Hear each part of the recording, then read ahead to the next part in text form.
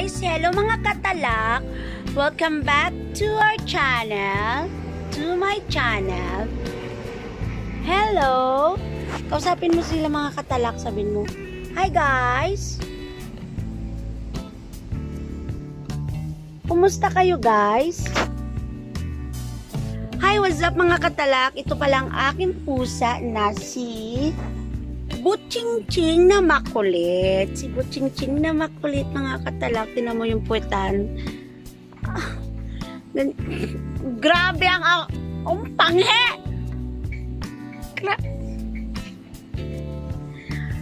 Hello! Mga katala, gusto ko palang magpasalamat sa mga sumuporta sa aking YouTube channel. Umabot na po tayo ng 710, 710 kung hindi ako nagkakamali sa, ati, sa aking mga subscribers. So, medyo lumalaki na tayo katalak. Medyo lumalaki ng ating channel. Kaya, siguraduhin kong mabibingi kayo sa talak ako ng talak everyday sa aking video sa inyo. Tumitigil lang naman ako sa kakatalak pag medyo masama ang pakiramdam ko. Pero pag hindi naman masama, alam na this. Alam na this. So, mga katala, kung meron man kayong mga tanong tungkol sa akin pwede kayo mag-comment below sa ating commented box kung tama ba yun. Yung yung ginagawa niya. Lo, sabi niyo, lo siya, feel, feel, feel niya. So, ayan. Excited na po ako.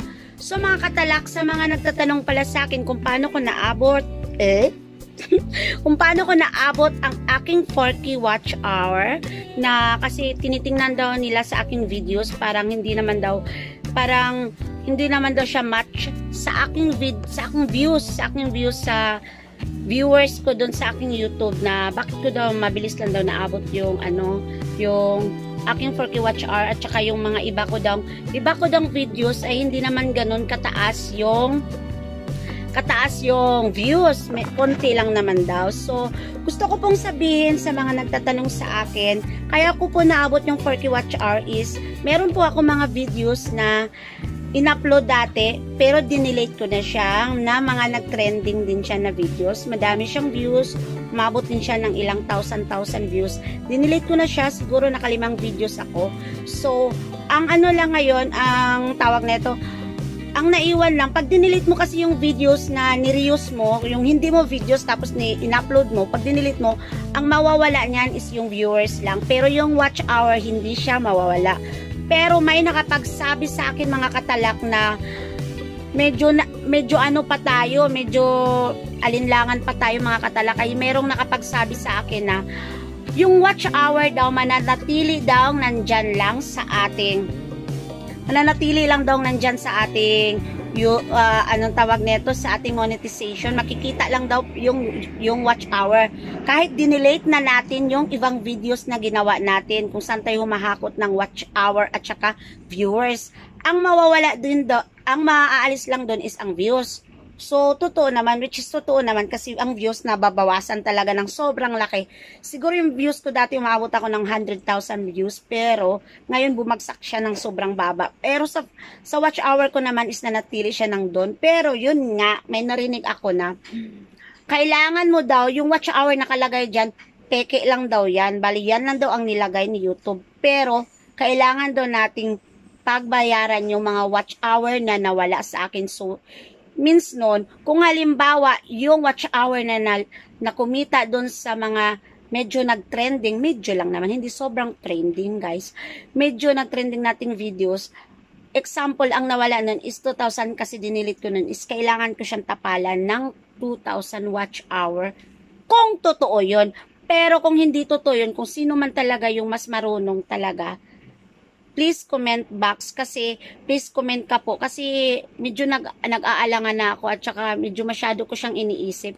Kasi pinagtrabawan ko din talaga makahanap ako ng mga subscriber at saka araw-araw din ako nag-upload ng videos para lang matapalan ko si YouTube. Pero hindi ko talaga kayang palitan yung mga nawala kong videos. Ay na, mga nawala kong watch hour dun sa mga nag-trend na videos na dinelete ko. So, kung alam mo, kung totoo man yon comment lang po kayo. At least, magawan ko naman siya ng paraan at makapagawa ako ng more, more videos. So, mga katala, please support support pa rin kayo sa channel ko at doon sa mga ibang katalak na sinusuportahan ko din. Walang problema kasi nanonood naman ako ng videos nyo sa tuwing dumadaan kayo sa wall ko. Yung sa mga hindi nakakadaan sa wall ko, siguro nakakaligtaan ko. Pero pag madami naman akong time, nanonood talaga ako ng videos ng aking mga katalak. So, hanggang doon na lang guys. Nagchichika lang ako ng saglit sa inyo dahil dito sa aking ching-ching Hanggang doon na lang guys. So sa susunod ulit, kung baguhan ka sa aking channel, Katalak, na bumisita, please don't forget to subscribe and hit the notification bell para naman ma-notify ka sa mga bago kong videos na gagawin. Goodbye! Love, love!